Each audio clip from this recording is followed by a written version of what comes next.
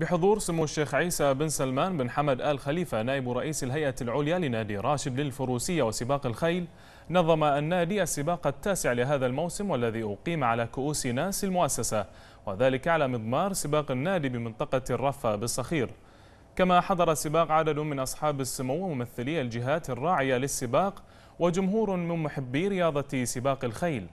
وتم تتويج الفائزين في السباق بكؤوس ناس المؤسسة حيث قام برنس كروب مدير التوظيف بالشركة بتقديم كأس ناس للشوط الأول إلى المالك الفائز صلاح عبد اللطيف ثم قدم مدير عام شركة الخليج للتنظيف ستيف ويليامز كأس الشوط الثاني إلى المالك الفائز كميل الملاح فيما قدم عضو مجلس إدارة ناس المؤسسة فوزي عبد الله ناس كأس الشوط الثالث إلى المضمر الفائز عبد الله كويتي ثم قدم الدكتور شام مدير عام شركة بلودان للوازم البيطرة كأس الشوط الرابع إلى المالك الفائز محمود عيسى.